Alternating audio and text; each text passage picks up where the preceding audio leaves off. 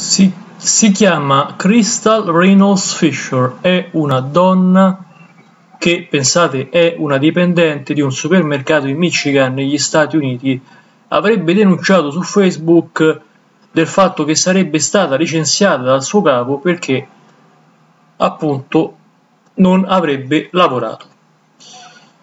Eppure la donna per l'appunto si trova in una condizione negativa. Infatti pensate che avrebbe un figlio in fin di vita per colpa di una cellulite infettiva.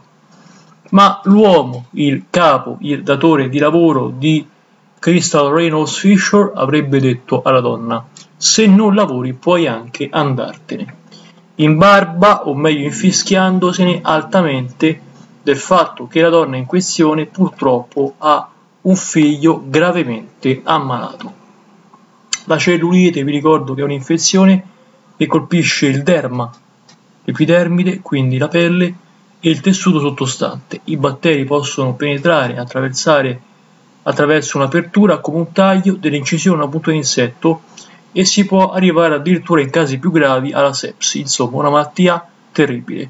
Il ragazzino, diciottenne, di nome Jason, si trova ancora in pericolo di vita i medici pensano addirittura che si, essere, che si possa essere arrivati ad una sepsi, ripeto, da cellulite. La mamma però sarebbe stata rimproverata, minacciata e addirittura licenziata. Vi ringrazio per l'ascolto, chiedo giustizia apertamente per la povera Crystal Reynolds Fisher. Grazie, un saluto al prossimo video.